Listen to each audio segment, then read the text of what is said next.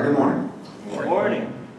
My presentation is on Windows 10, which is the new OS from Microsoft, which just came out 10 days ago.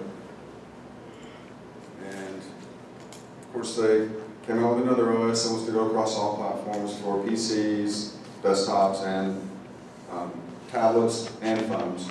And the cool thing about it is it will automatically detect which device you install it on and uh, conform to that device, which is kind of neat. It's an added feature.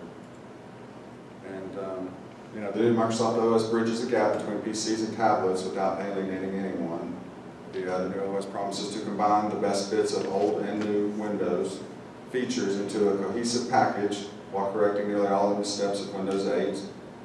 For one, the start menu is back, and to name a few more, a lean, fast Internet Explorer replacement called Edge, uh, Microsoft Siri-like voice controlled virtual assistant Cortana, and the ability to stream real-time games to your desktop from an Xbox One in another room. And there's kind of what the desktop looks like. You can have multiple desktops, virtual desktops, which is kind of cool too. Um, here's a brief history on the, is a timeline of Windows. And uh, November 10th, uh, 1983, the first public preview of Windows, which required two floppy disks and at least 265 kilobytes of RAM, which ran on the five and a quarter floppy disk over there, which thank goodness they're gone. And then uh, November 20, 1985, Windows 1.0 was released, a 16-bit multitasking shell that sits on top of MS-DOS. Users have to navigate using a mouse, a form of input poorly received by the critics at the time. So we're used to it. Windows 1.0 was finally declared obsolete on December 31st, 2001, more than 16 years after its launch. And December 9th, 1987, Microsoft shipped Windows 2.0, which features desktop icons and the beloved control panel. And then on May 22nd, 1990, the third time's the charm with Windows 3.0. And it becomes the first successful version of Windows offering a graphical user interface, or. October 27, 1992, Microsoft announces Windows for Workgroups 3.1, allowing peer-to-peer -peer workgroup and domain networking support PCs join the world of client-server computing. And then uh, July 27, 1993, Microsoft releases Windows NT 3.1, a 32-bit operating system enabling businesses to use more powerful scientific and engineering applications. Windows NT continues to be the core across Windows today.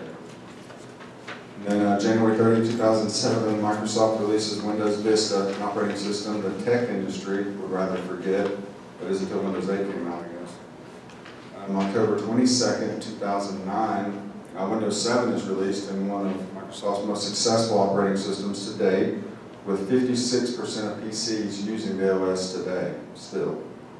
And Microsoft's mainstream support ended on January 13, 2015, but extended support doesn't end until January 14, 2020.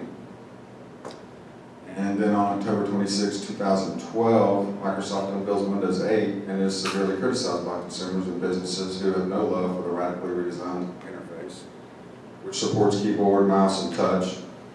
Microsoft always releases, also releases Windows 8 RT, which unofficially stands for Runtime, and OS for ARM-based tablets. And then a year later, Microsoft updates the OS to Windows 8.1 offering more enterprise features and added stability, but still business adoption remains slow. And then September 30, 2014, Microsoft skips Windows 9 and previews Windows 10, bringing back the familiarity of traditional Windows desktops, but integrating the functionality of the new GUI, graphical user interface, from Windows 8.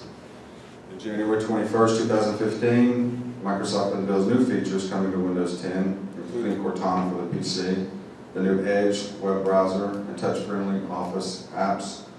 Microsoft also offers Windows 10 for free on PCs running Windows 7 and above for the first year.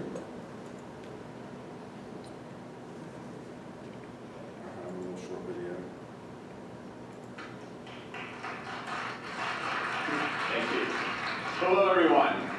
It's great to be back together to talk about the generation of Windows, Windows 10 It's great to see some familiar faces, some new faces, and welcome the many, many more that are joining via webcast today, particularly our Windows Insiders.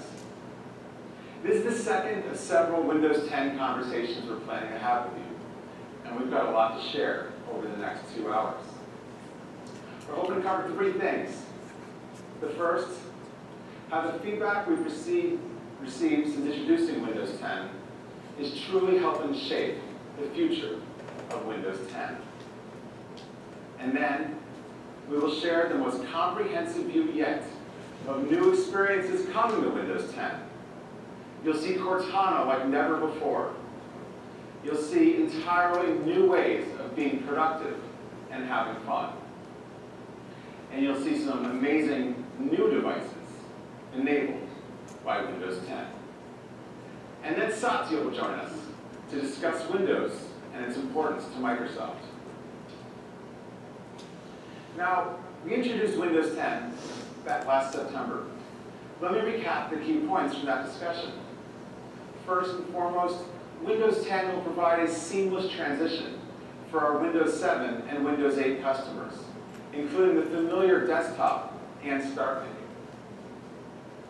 And Windows 10 will be our best enterprise platform ever, enabling our enterprise customers to be more productive than ever before, simplifying management and deployment for IT, and working seamlessly with the existing enterprise apps.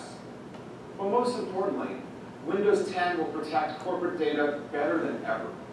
In fact, the hardware-based security of Windows 10 would have countered the techniques used in several of the recent headline-making attacks. And Windows 10 will support the broadest device family ever.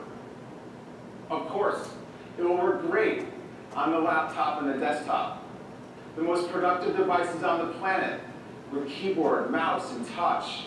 Our hardware partners are doing amazing work in this area, introducing several new designs at CES, thinner and lighter, with amazing screens. The Windows 10 Continuum experience enables these incredible two-in-one devices that switch back and forth between the keyboard mouse mode and the touch tablet mode. Windows 10 on tablets, phablets, and phones will provide the best mobile experience for our Windows and Xbox users. With Windows 10, universal Windows apps come to Xbox One, the most fun game console ever. And Windows 10 has support for today's maker boards, enabling makers to do incredible things with Windows in the fast-growing Internet of Things space. Windows 10 is the only platform that enables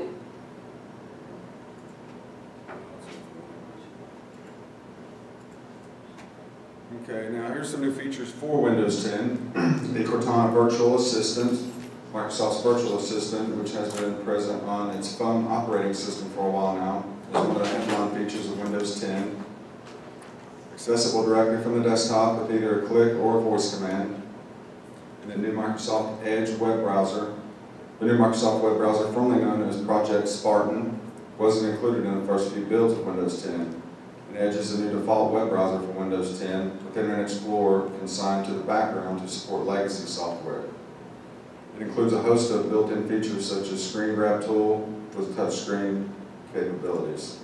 And there's what it looks like. A little cleaner, a little neater. Um, also has a new and improved start menu. After reinstating the start button in Windows 8.1, Microsoft is now bringing back the menu to go with it.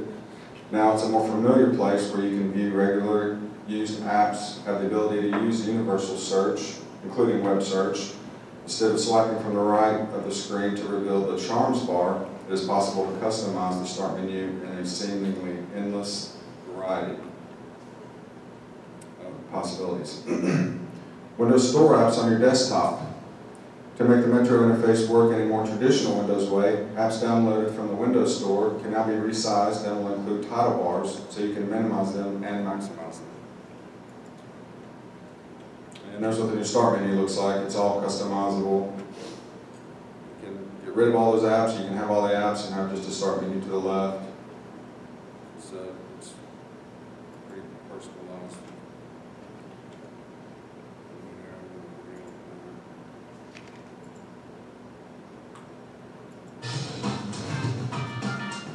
Windows 10 is supposed to bridge the gap between our touch-friendly tablets and the mouse and keyboard-driven devices we've been using forever. And two features, Start Menu and Continuum, are going to help us get there.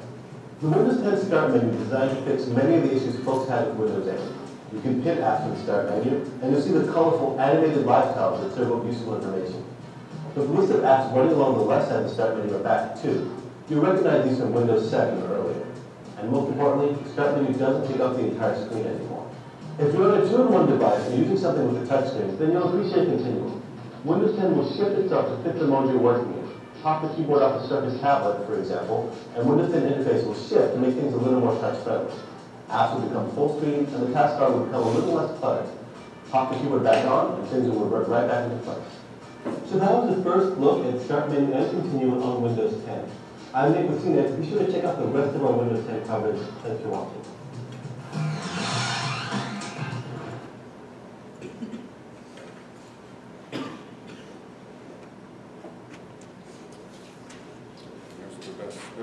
Desktop looks like. And also the command prompt window. Improved Snap Assist for Windows. The new Snap Assist uh, UI will let you pull in windows from anywhere, even if they're on a different virtual desktop to the one you're working on. It'll also make it easier to have different layouts of windows, including integrated touch apps that can snap to the side in different grid layouts. And there's what uh, the snap feature looks like. You just change the windows however you really want to, customize everything. It's got a new tablet mode, which he just demonstrated. There's a dedicated tablet mode that effectively makes the start menu go full screen and runs all apps in full screen. Hybrids of which there are many should switch between tablet and desktop modes automatically if set up correctly. Usually improved mail and calendar apps. Microsoft has done lots of work to improve the mail and calendar apps compared to Windows 8. They're faster and easier to use and condense more information into less space without making them feel cluttered. The Mail app now has swipe gestures, a common feature of many mobile mail apps that works really well. Most importantly, Mail supports POP, email, and the Calendar app finally supports Google Calendar. And There's a screenshot of the calendar. It's a little bit neater, a little cleaner than the calendar.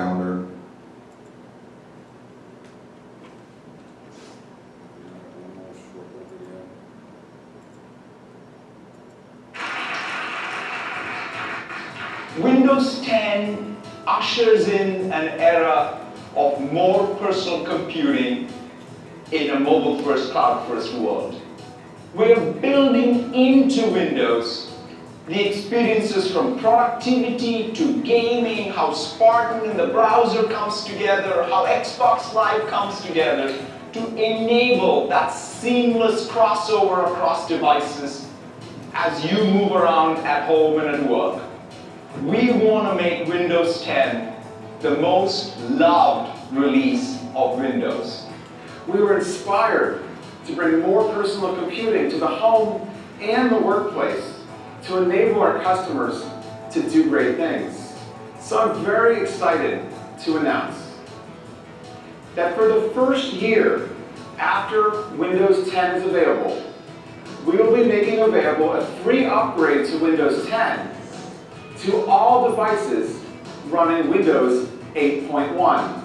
We will also be making available a free upgrade to Windows 10 to all devices running Windows Phone 8.1. And last but not least, for the first year after Windows 10 is available, we will be making available a free upgrade to all of our customers still running Windows 7. We're bringing Cortana to the PC, and we're going to change the way people use PCs through this natural interaction. Project Spartan is a new browsing experience tuned for being mobile and working across these devices. We have a family of universal apps, including Office, that are going to make people productive with these devices. And in all cases, the user experience is tuned to a wide variety of form factors, so you get benefit from things like Continuum, where your device will adapt to how you use it. I am delighted to introduce you to the Microsoft Surface Hub. This is an 84-inch 4K display with integrated compute. It has built-in sensors, that actually detected me when I came to the screen. It has built-in cameras, speakers, mics, Wi-Fi, Bluetooth, NFC. It's got it all. I'm incredibly excited to introduce to you Microsoft HoloLens. This is the first fully untethered holographic computer. HoloLens is real, and this will be available in the Windows 10 timeframe. Holographic computing enabled by Windows 10 is here. Today, we'll show you how gaming on Windows 10 will be more social and interactive by bringing together the best of the games you love to play, the people you play with, and the epic moments they create. All of this comes together in the Xbox app on Windows 10.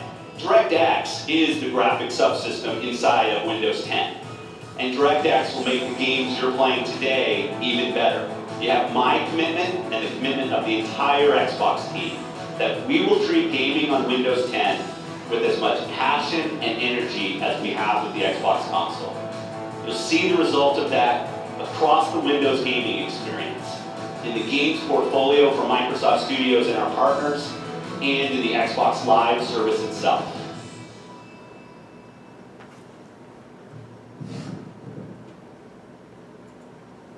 As you can see, it does have a lot of really cool features. I don't know if anybody's ever, has anybody played around with it at all? A little bit, other than Josh, I know Josh.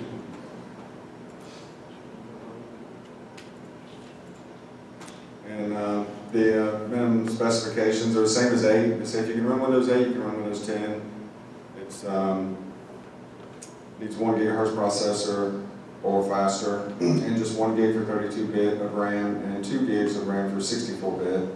And the hard disk space is uh, 16 gig for 32 bit and 20 gig for 64 bit. And then the graphics card has, uh, has to support DirectX X9 or later with uh, WDDM 1.0 driver and in 1024 by 600 or above.